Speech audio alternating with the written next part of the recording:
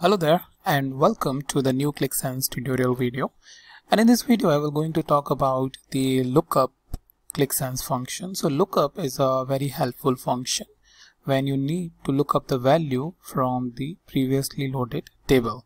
So let's see a quick example. So over here what do we have is basically the product list or a product table and the customer order data.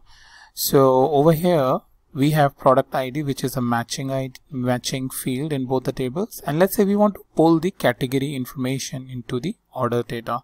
So how we can do that? So for that we will going to utilize the lookup function. So after star I will put comma and I will say lookup and in the lookup I will first give the product ID field that this is the field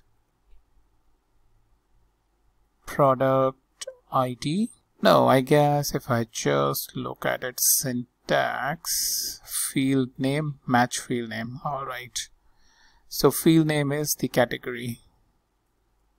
Category. That's why I was thinking.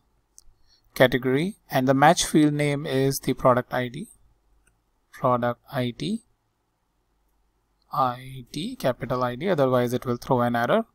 And then this product ID so what I'll do is copy this paste it. Since it is part of this table I don't need to wrap it around the single quotation.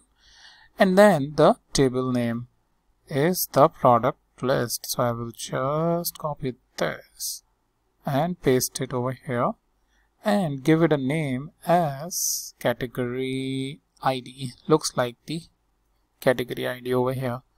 So yeah I guess if I hit save and then since we don't need the table I have already mentioned like drop table product list over here.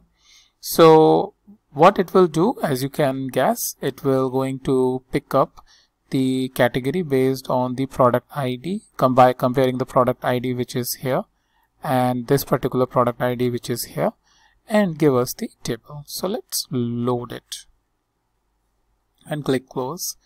Come to analysis and uh, let's create a table and in that uh, let's keep on adding the information. So what do we have is the product ID and uh, dimension. Then let's add category ID then let's add customer ID